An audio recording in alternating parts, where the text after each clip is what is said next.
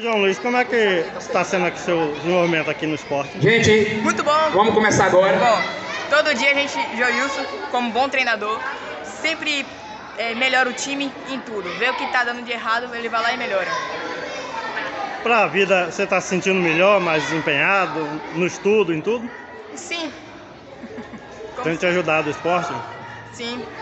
Me- Me deixa mais disposto a fazer algo. Tá melhorado nos estudos? Tô.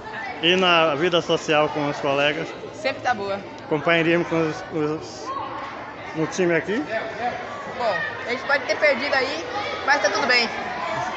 Tá ok, obrigado.